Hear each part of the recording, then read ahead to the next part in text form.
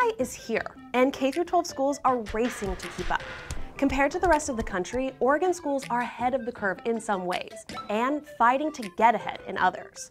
So, how is AI already changing education in Oregon? And what's likely to happen next? Right now, 26 states in the US and Puerto Rico have AI guidance for K 12 schools. The Oregon Department of Education was the first to release a statewide policy back in 2023.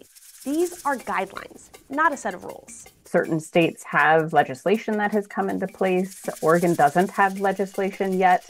AI policies and adoption looks different district by district. We're hearing from districts that it's happening. But whether or not a district has a policy, AI is being used by students. Definitely ChatGPT or Gemini or Copilot or just some form of generative AI. I mean, I see kids go straight to ChatGPT no matter what. Even our staff, not just the students, tend to go for that. ChatGPT, Google Gemini, these are types of generative AI.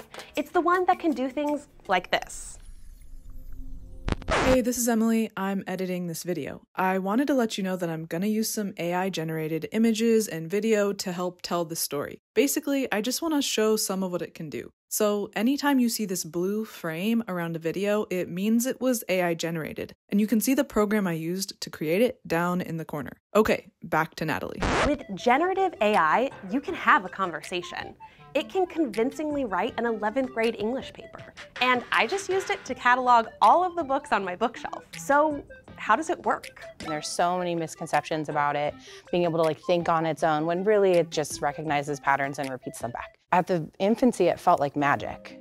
Helping students understand how this technology actually works is crucial for Duda to teach kids how to use it responsibly because it's just pat it's pattern recognition is what's happening. They'll say, can I use AI to help make my video game that I'm programming? And then we'll have an informal conversation or one as a whole class, like, is this the right tool for that? Or should you create some code on your own and then maybe go back and ask that tool, like, how can I make it more efficient? Or how do I resolve this error that I'm getting? Where is that line of like how you should be using it to help you rather than do that work? And when it comes to Tigard-Tualatin's AI policy? Basically, we recommend teaching responsible use, teaching the limitations of AI, the fact that it can be biased, and also the benefits of it. Once kids understand the basics, including the risks and benefits, Tigard-Tualatin believes students can use AI as a tool to enrich their learning with some guidelines. Ours is really simple, so um, if it's green, they can use AI without citation. Yellow, they can use AI, but they must cite it. And red is for that specific task or skill measurement, there is no AI allowed. The technology also has the potential to change the game for students with disabilities. Using these tools, they could communicate and create art, music, and writing beyond anything they could do previously. Let me introduce you to Jill. She's a middle school student in our district. The assistant can take the words that Jill generates using her OGCOM or other methods and then framing it so that the results that come out of the generative AI are appropriate to the type of writing she needs to do. Statewide, Tigard-Tualatin is leading the way, but this is just one example of one school district in Oregon. In many places, it's students who are prompting the conversation on AI in schools. I just graduated from the International School of Beaverton. This past year, I was also a part of the Beaverton School District Generative AI Advisory Committee, and we worked on creating sort of the first draft of the district's AI policy. So let's pretend I have never seen AI before. Yeah. Um, if I was going to use ChatGPT, you know, where do where, where do I go? What do I do? What yeah. am I looking for?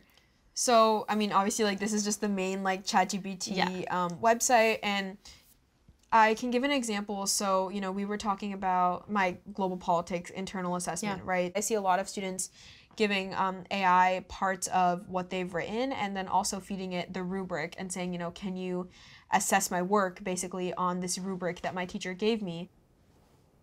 So it'll give me an evaluation, right? Mm-hmm. It'll tell me what parts of the um, paper really do align with the rubric and what I need to work on and fix. So, mm-hmm. and it's mm-hmm. also scoring me, and I didn't even yeah. ask it to do that for me. Which so far you're doing great on this paper. Yeah. According to Chat Yeah, it's it's doing it's giving me a pretty good score. Yeah. Did you get a good score? Yeah, I did get a good score because this is one of my favorite classes. Okay, so with some ethical guardrails, AI can be a positive, powerful tool in the classroom for students and teachers. But there are some real concerns about this technology too. And it's not just cheating on assignments. The tension here is actually deeper and older than that. Experts call it cognitive offloading. It's when humans offload mental effort to a technology. Over reliance um, of tools like generative AI can weaken students' critical thinking, memory, problem solving. This is not a new human struggle. Socrates hated writing, the new technology of his time, because he thought it weakened memory. And today, we use calculators, phones, and the internet to help us think. But all of those took time for us to learn how to use responsibly. And let's be real, we're still figuring them out. But AI is powerful and unique. The quest to find a balance will most likely continue. The students' blatant honesty about when they have used AI irresponsibly constantly shocks me. They're like, oh, my teacher kicked back my assignment and they were right, I didn't do anything. Okay, how can we use this responsibly instead of that? I think a lot of students that I talk to are actually very aware of sort of where to draw the line, at least, you know, kind of like vaguely. That attitude that like AI is like this large force that like is just coming too quickly. But I think, you know, when we step back and look at it, you know, there have been other rapidly developing technologies. Schools have actually been able to work towards, you know, managing it correctly. Outside of academic integrity and concerns about cognitive offloading, students, teachers, and community members have some other fears about artificial intelligence. I'm curious about the social aspect of it. You were telling me about some of the very upsetting bullying. Yeah, we see a lot of students using AI to sort of create nude images of students, um, specifically like female students in their classrooms. These images are usually called deep fakes. They're hyper-realistic, fake images of real people. And they most often target young girls. Alina worked on a policy to help educate about and mitigate the harms of deepfake imagery.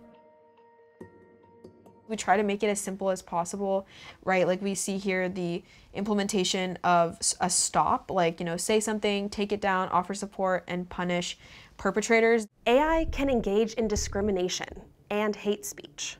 It could give a child directions that lead to physical harm or criminal activity, create material that builds false relationships or artificial intimacy, or encourage social disconnection or division. One of the potential harms of AI is over-reliance on AI as a companion.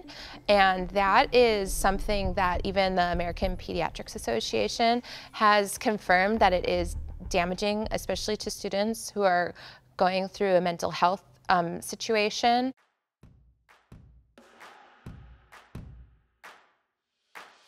And AI can just be straight up wrong sometimes. Um, and still see like that the errors will exist, like which explains for bias or hallucinations or incorrect information that comes. That what do you mean out. by hallucinations? So an AI hallucination is where it says something with absolute certainty that is completely incorrect.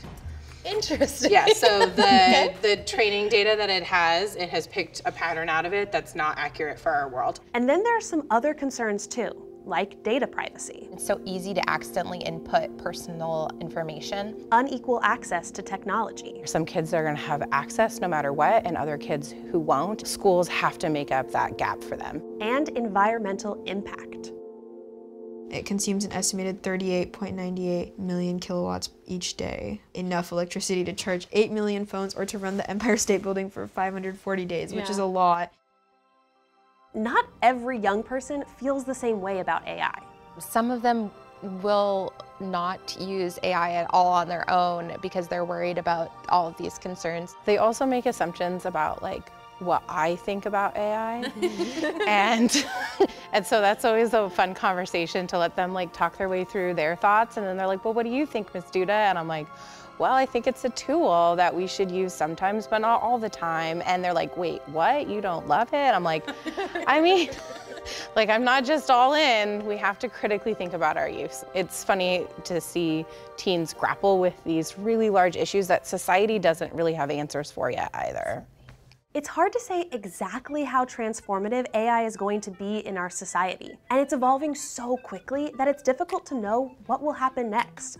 So how do schools prepare kids for this unknown future? I already teach technology, which is always evolving and the technology I teach today is not the technology they're going to need in the workforce in five years, 10 years, 20 years. We can't predict what those things are going to be, um, but I can carry them along with me as the new technology emerges. So then they know how to do that on their own. And then when they are adults, they can be prepared for their 21st century job that we can't imagine. When I started teaching 18, 17 years ago, I never imagined that I would be like leading kids through this major technological advancement, but it arrived and it was the moment. So we're doing it.